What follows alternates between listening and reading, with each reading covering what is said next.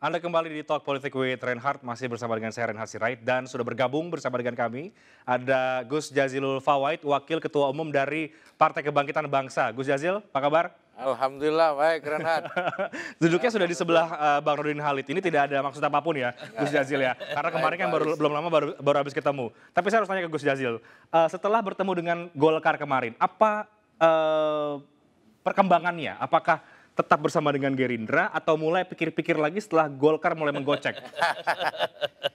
Jadi alhamdulillah pertemuan kemarin itu sebenarnya orang menyebutnya silaturahmi ya. Hmm. Tapi bagi kami saya itu namanya piknik. Oke. Okay. Piknik politik. Piknik Karena politik. sebenarnya Pak Erlangga juga punya rumah namanya KIB, kita juga punya rumah namanya Koalisi Kebangkitan Indonesia Raya. Nah mungkin di dalam rumah itu butuh hiburan masing-masing, saya nggak harus piknik. nah di dalam piknik itu tentu kalau di dalam Islam namanya tatabur alam. Jadi berpikir mungkin ada sesuatu yang berbeda di masing-masing rumah itu, hmm. yang bisa jadi saling bertukar informasi, mencari apa begitu. Hmm. Nah saya hanya mengambil nilai positifnya saja, hmm.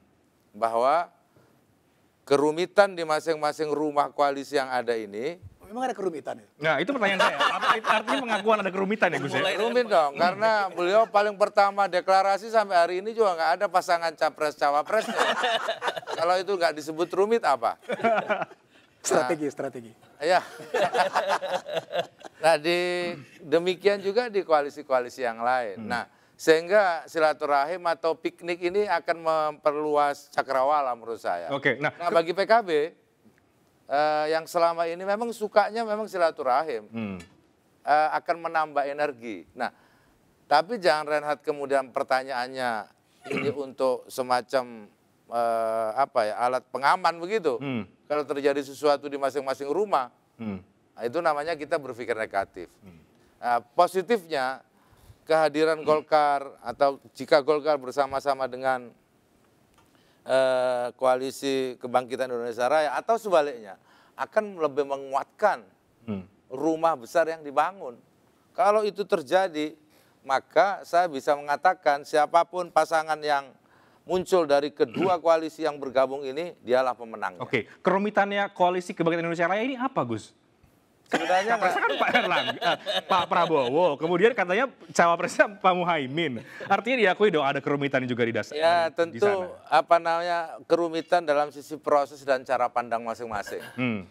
Ada yang bilang bahwa ini harus segera diputuskan capres cawapresnya supaya hmm. kita bisa menyusun platform dan kita mulai jalan untuk kampanye. Hmm. Namun sebagian yang lain bilang nggak usah, ngapain jauh-jauh hari kita Nanti akan saja. mengundang musuh. Nah ini kan kerumitan-kerumitan. Hmm. Nah kalau di KIB lebih rumit lagi itu. Belum, belum ada capresnya ya? Calonnya aja belum jelas siapa. gitu. Tapi sering kali deklarasi bolak-balik. Nah tapi itu nggak ada masalah karena memang itu bagian dari dinamika politik. Hmm. Tidak disebut itu bagian dari kelemahan atau dari kelebihan. Itu hanya dinamika biasa. Nah eh, justru saya merasa bahwa eh, Pak Erlangga yang kemudian hari-hari akhir-akhir ini sebagai master lah kira-kira Golkar ini kan partai lama. Hmm. Termasuk Jadi, yang sebelahnya. Ya, termasuk Pak Nurdin. Kalau sudah turun ke gelanggang, artinya nah, master sudah main, nah kan gitu. Kita nggak tahu juga arahnya akan ke mana. Kalau persepsi saya masih rumit saya di situ. Siapa tahu di situ ada permainan-permainan canggih. Saya nggak tahu. Jadi Anda pun belum tahu ini arahnya mau ke mana? Uh, setidaknya kalau di koalisi kebangkitan Indonesia Raya arahnya jelas hmm. bahwa kami dengan Gerindra sudah bersepakat ada empat poin kesepakatan kita akan bisa menambah partai koalisi urusan capres cawapres ada di tangan Pak Prabowo dan Gus Muhaimin. Hmm. Nah tapi di urusan yang lain saya tidak tahu. Mungkin dengan piknik itu akhirnya tahu, oh di sana ternyata juga ruwet. Kan gitu. Bayang-bayang juga tidak ada, mau berangkat bareng kapan juga nggak jelas ya sudah nggak ada soal karena hmm. itu bagian dari dinamika. Hmm. Karena Pak Yunarto juga yang kadang-kadang hmm. sering mengatakan Belanda masih jauh, Belanda masih jauh. Akhirnya partai-partai merasa bahwa ah, belum punya kepentingan untuk segera mendeklarasi. Piknik dulu. Saya, hmm. kalau saya secara pribadi, jangan begitu dong, jangan Belanda masih jauh. Karena hmm. tugas partai itu melahirkan kader hari ini harus disampaikan kepada publik nih kader saya supaya dinilai. Oke, jadi konkretnya adalah Jangan dibungkus dalam karung atas na- atas nama Belanda masih jauh. Ini dibungkus terus ya. Dibukanya kapan? nanti ke Mas Soto. Jadi konkretnya adalah pertemuan dengan Golkar kemarin adalah upaya untuk eh, memastikan bahwa ketua umum Anda ini bisa maju di gelanggang Pilpres, begitu? Ya tentu kita sedang berupaya itu karena itu amanat dari Muktamar. Setiap perjuangan kan setahap demi setahap harus kita lakukan dan kita nggak boleh putus asa. Apalagi waktunya masih cukup dan kami juga membangun koalisi juga sudah benar tracknya, gitu. Sehingga buat kami eh, hakul yakin nanti ketua umum kami akan melenggang untuk bisa masuk. Dengan cara apa pun, dengan usaha apa pun, tentu kami juga punya kalkulasi-kalkulasi. Oke. Nah kalau di situ ada Pak Erlangga, kalkulasinya mungkin lebih gede tuh kalkulatornya. Hmm. Oke, gimana Bang Rudi tadi Mas Soto katakan ini yang tengah du- yang tengah di eh, diorkestrasi oleh Golkar ya Mas Soto ya soal bagaimana kemudian koalisi-koalisi ini eh, yang golnya ada tujuannya ada lagi-lagi soal capres sebetulnya. Jadi setiap menghadapi kontestasi politik, setiap partai pasti punya strategi sendiri. Ya. Termasuk KIB. Jadi kebetulan eh, Gus di Golkar itu eh, banyak yang mencintai bola. Termasuk saya mantan ketua PSSI kan. Iya, betul, betul, betul. Jadi dalam ilmu sepak bola itu ada tiga manajemen itu. Kapan menyerang, kapan bertahan, kapan delay. Nah itu. Ya, Jadi ada waktu buying time gitu. Nah kita lihat strateginya apa. Si ini partai ini calonnya siapa nih? Hmm. Si ini calonnya siapa? Nah baru kita lihat kalau calonnya KIB misalnya Pak Erlangga begini, bisa nggak berhadapan nih? Nah kalau nggak bisa, apa alternatifnya? Nah, gitu. Kalau bisa atau kurang bisa, kita bisakan. Nah, seperti itu. Jadi tidak ada kerumitan sama sekali. Ini hanya soal timing saja. Kalau Dulu karena belum ada yang muncul sekarang. bola, teknik terbaik itu menyerang. Pertahanan yang pada sepak bola itu menyerang. Iya, itulah. Sekarang KIB menyerang terus nih. Karena penyerangan KIB, maka datanglah Bang Surya, datanglah Kak Caimin ketemu. ya, Tapi ya. saya tidak tahu siapa yang mengundang atau sama-sama Ya, sama-sama ya, ya, kebetulan ketemu bersama Oke, atau janjian saja. oke, baik. Tapi yang pasti begini, sama dengan eh, PKB dalam utamarnya sudah menetapkan Pak eh, Ca- Caimin. Golkar itu konstitusinya jelas sekali, ya. memutuskan Pak Erlangga dalam Munas. Yang bisa merubah Munas, saya tahu kalau P3. Kalau Golkar tidak bisa dirubah oleh institusi mana pun kecuali Munas. Nah, oleh karena itu, seluruh instrumen Partai Golkar itu, seluruh sumber daya Partai Golkar sekarang mengerahkan kemampuannya untuk eh, apa namanya Pak Erlangga jadi capres. Makanya di ulang tahun kemarin, di mana di muka Bapak Presiden Jokowi, itu satu ruangan itu puluhan ribu orang, itu semua me, me, me, mendengung-dengungkan Pak Erlangga sebagai calon calon presiden, nggak ada keraguan sedikit pun. Oke. Dan dijawab oleh Pak Pak Jokowi pada saat itu dengan spontan juga beliau. Oke, artinya kalau Pak Erlangga tidak berhasil maju, ada kemungkinan munaslup terjadi. Munas kalau misalnya nih, misalnya Pak Erlangga menyatakan dia tidak akan maju, kemudian diganti oleh siapa, itu, maka ini harus dimunaskan untuk mengganti itu. Hmm. Karena Munas mengatakan Pak Erlangga tidak bisa Mengganti nama capres atau mengganti ketua umum? di- mengganti nama capres. Mengganti nama capres.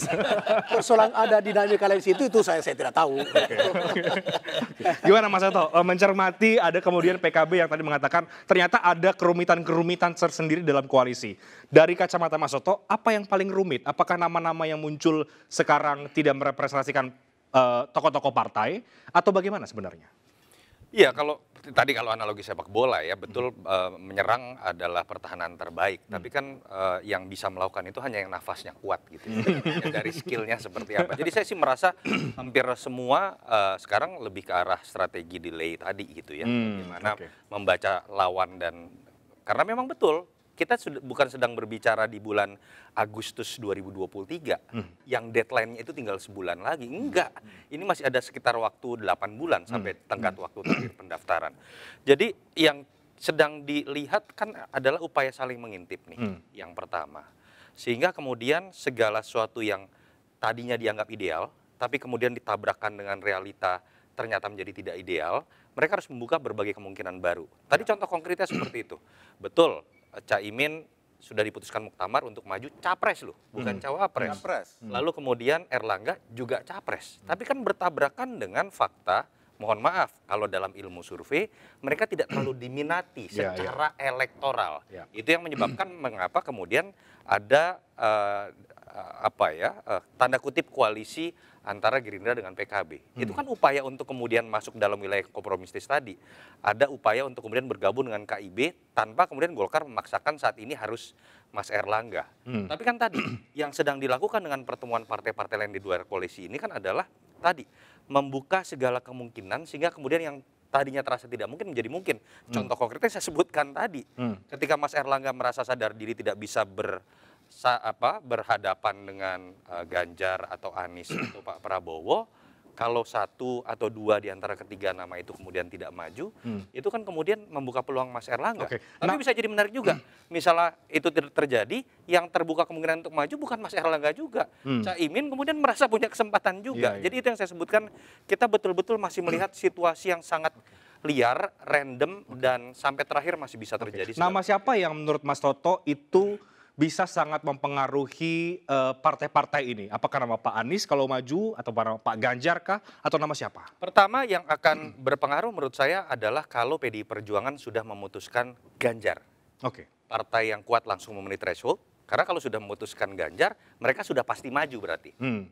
Terburuk tidak dapat partai pun akan pasti maju. Sudah memenuhi syarat. Anies walaupun sudah deklarasikan kan masih ada tanda tanya besar. Betul nggak tiga partai ini akan kemudian eh, solid gitu kan? Pak Prabowo ya saya tidak tahu akan solid atau tidak begitu ya. Tapi tapi yang yang akan menentukan adalah kepastian mengenai tiga nama itu. Salah satunya adalah kepastian mengenai Ganjar maju atau tidak. Misalnya ada pertanyaan menarik.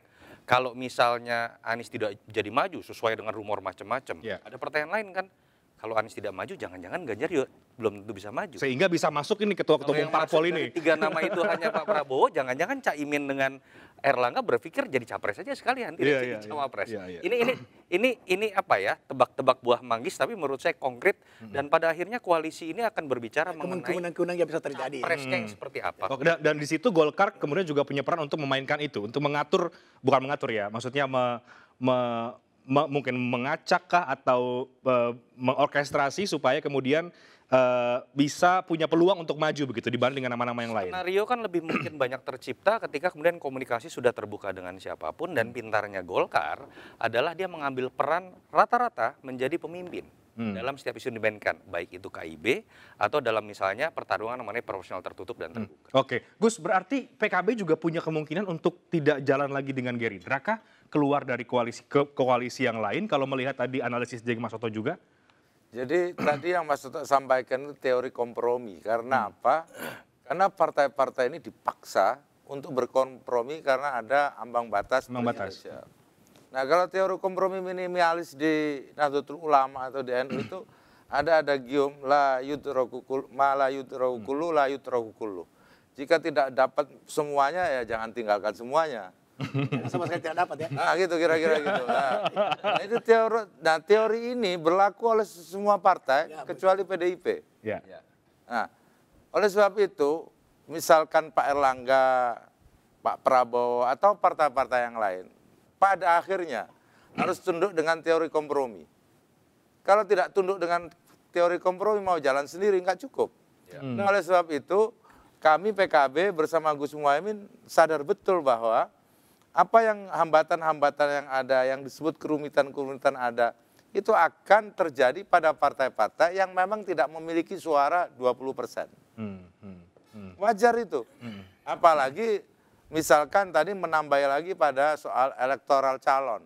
Makin banyak hambatan-hambatan dan kerumitan yang ada di situ yang harus diputuskan. Jadi apalagi nanti kalau anggotanya makin rame begitu, misalkan kayak KIB itu kan ada tiga partai, itu makin punya cara pandang masing-masing, makin rumit lagi. Nah, kompromi-kompromi seperti itu sampai kapan kira-kira itu yang akan eh, ditunggu oleh publik? Sampai kapan partai-partai ini kok kelihatannya nggak mampu untuk melakukan kompromi? Hmm. Nah, kami sebenarnya lewat i- ijtima ulama Nusantara yang dilakukan itu semacam memberikan guidance. Jangan lama-lama. Hmm. Kalau bisa Ramadan ini kami sudah bisa kampanye karena momen Ramadan ini momen yang baik bagi kalangan kami di kultur Nahdlatul Ulama karena ada terawih, ada macam-macam untuk 2024 akan setelah Pilpres. Ya, dan ini Ramadan terakhir. Ya. Gitu. Nah, oleh karena itu gini, untuk yang akan datang, jangan lagi ada ambang batas. Supaya kompromi itu tidak lama gitu. Ya, tidak sebenarnya nggak harus tahun depan kalau Pak Khalid berani hari ini juga bisa. Jangan, jangan. Jangan. Jadi Kita kadang-kadang kan- kalau hari ini jangan kita mengacaukan tahapan kalau hari ini. Artinya next ya, next. Nah, gini Pak Renat, kadang-kadang ini kan untuk melakukan perubahan ini kan kadang butuh waktu ya dan butuh keberanian. Kalau ini dua hal ini kelihatannya belum. Waktunya nggak cukup, keberaniannya juga tidak cukup untuk merubah untuk 20 persen. Akhirnya apa ya, mutar-muter di antara piknik ke piknik itulah kira-kira. Ya itu kan yang kemudian kita lihat, artinya akhirnya piknik ke piknik, partai ke sini, ini, partai ke ini, sini. ini akan selesai paling lambat April lah. Hmm. menurut saya. Karena kalau lewat April sudah sudah sangat terlambat. Paling lambat April ini semua sudah jelas itu. Hmm. Dan khususnya begitu eh, maaf ya PDIP sudah memutuskan seseorang pasti ini akan itu langsung sudah Hmm. sudah ada keputusan partai-partai mengenai calonnya itu. Oke, artinya ini semua nungguin PDIP nih Gus. Tidak juga sebetulnya, Eh, tidak juga, tapi itu kan Nurdin. bagian dari bagian dari strategi politik. Hmm. Gitu. Kalau kita tidak bertempur, kita kan mesti tahu siapa lawan kita, Hmm. bagaimana kemampuan Kalau lawan, ada satu lawan. saja menurut saya dari misalnya kita sebutkanlah porosnya masih bicara tiga capres yang kuat ya. Katakanlah ada tiga, salah satu dari tiga capres kuat ini mendapatkan kepastian. Kepastian sebenarnya ketika KPU sudah Ya, Ya, ya, ya. akan ya. Tetapi kepastian dalam konteks sudah ada kesepakatan lah. sudah ada deklarasi bersama Ya. dari partai untuk memenuhi threshold dan pasangan capres cawapres. Kalau Indonesia Raya ini kan masih kurangnya baru capresnya nih, kira-kira gitu kan. The devil is in the details di cawapresnya, Caimin jadi atau tidak. KIB lebih-lebih lagi, capres cawapresnya masih abu-abu dan buram begitu.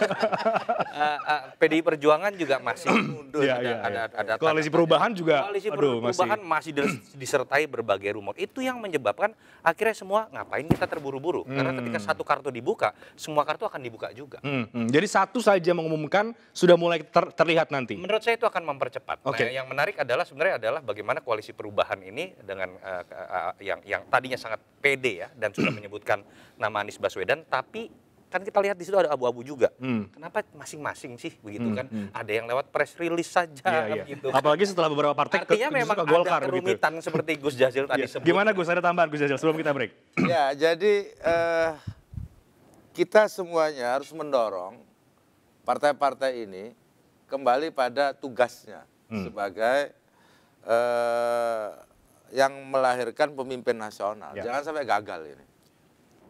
Nah, kalau ini gagal, makna partai hilang di situ. Hmm. Nah, salah satu yang harus dibuktikan oleh partai-partai ini lewat berbagai koalisi ini, ya mempercepat.